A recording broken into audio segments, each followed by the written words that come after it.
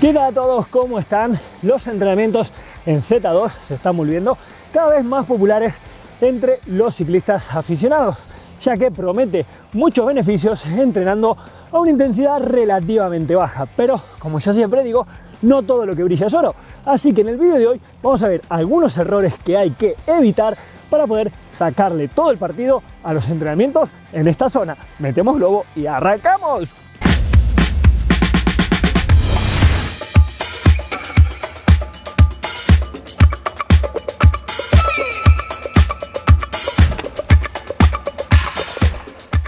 Primero que nada vamos a comenzar hablando un poquito de qué es la zona 2. Aquellos que no hayan visto el vídeo, hicimos uno explicando todo sobre esta zona y es un tema bastante interesante. Pero bueno, es una de las tantas zonas que hay en la escala de esfuerzo y es eh, una de las más tentadoras ya que trabajando en esta zona podemos mejorar muchísimos factores, sobre todo en la zona aeróbica. Es la zona donde más cantidad de grasa vamos a quemar también, donde eh, vamos a crear más cantidad de mitocondrias, por lo cual luego podremos ir mejorando las otras zonas.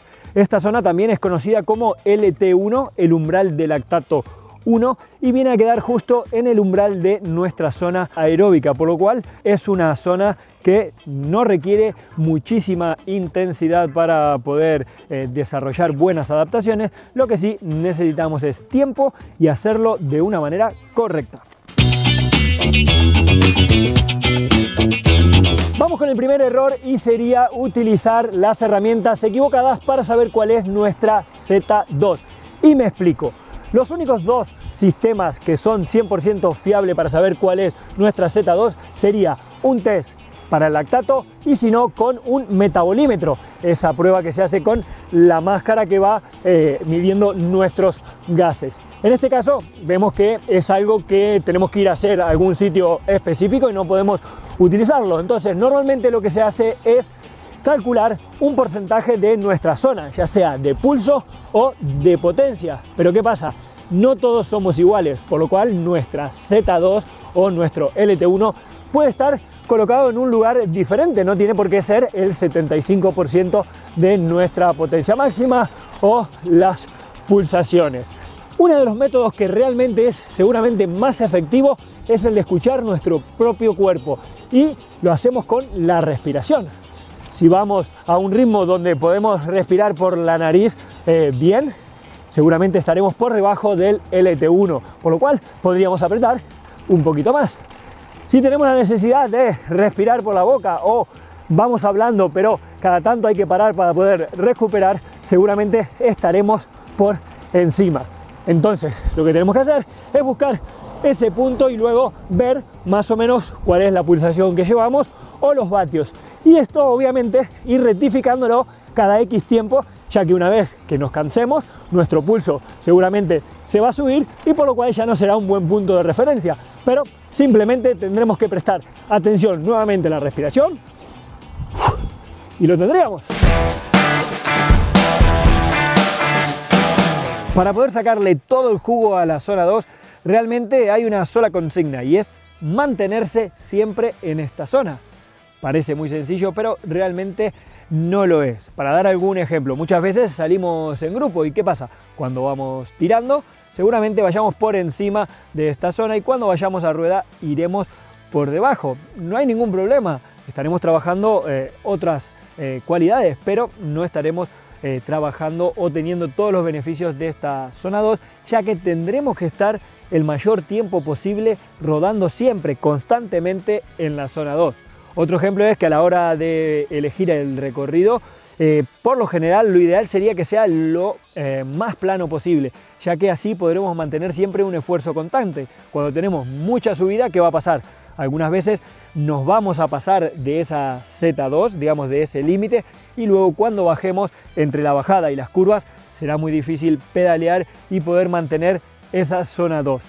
Y luego ya otra de las opciones puede ser que muchas veces eh, hacemos algún sprint o eh, tenemos que perseguir a la grupeta o hacemos una subida demasiado dura y ya sobrepasamos por mucho esa Z2 y nuestro cuerpo empieza a consumir hidratos eh, de carbono, ¿no? empieza a consumir ese glucógeno. Una vez que hacemos este esfuerzo, nosotros vamos a volver a nuestro nivel de esfuerzo que es la Z2, pero al cuerpo le va a llevar entre media hora y unos 20 minutos aproximadamente en volver a la normalidad, por lo cual realmente no estaremos aprovechando esa Z2 al máximo.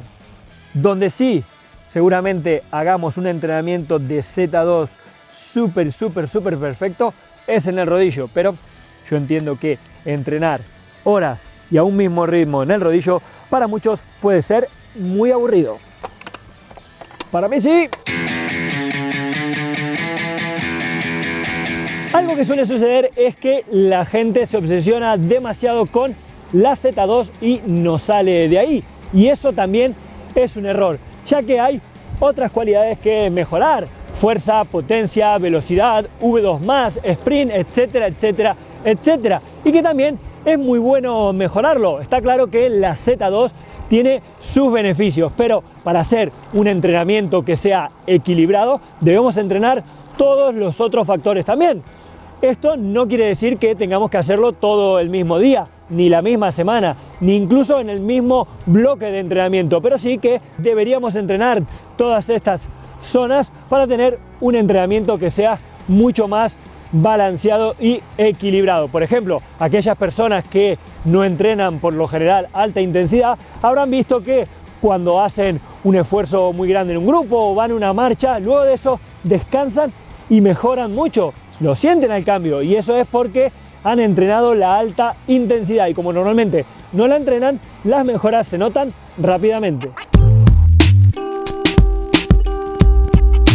Entrenar la Z2 puede ser eh, realmente muchas veces muy aburrido, incluso antisocial, porque tenemos que dejar de salir con eh, los amigos, incluso eh, salir solos, buscar terreno llano, hacer rodillo y la bici realmente no se trata de eso, sino que se trata de disfrutar. Así que si tenemos poco tiempo, seguramente la Z2 quizás no sea la mejor elección ya que no mejora todos los parámetros ni tampoco es lo más divertido. Así que es recomendable seguramente hacer otro tipo de entrenamiento salir un poco más con eh, la grupeta y hacer otros esfuerzos más intensos y aprovechar mucho mejor nuestro tiempo si sos un ciclista que te gusta entrenar, que te gusta los datos, que te gusta ver eh, las mejoras y hacer estos sacrificios, seguramente sea una buena elección hacer una gran porcentaje del entrenamiento en Z2 y luego por supuesto trabajar la alta intensidad. Pero lo más importante,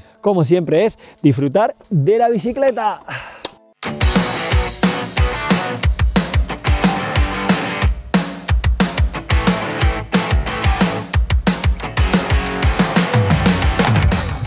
Y estos son algunos de los errores que se cometen cuando trabajamos en la zona 2 y hace que no podamos sacarle todo el provecho y no sea realmente lo eficiente que debería ser. Está claro que últimamente la Z2 se está poniendo muy de moda ya que trae bastantes beneficios, pero mi recomendación es que no nos obsesionemos con este tipo de entrenamiento y por supuesto disfrutemos un poco más de la bicicleta. Espero que el vídeo les haya gustado, si es así como siempre, pulgares hacia arriba y nos vemos la próxima. ¡Chao, chao!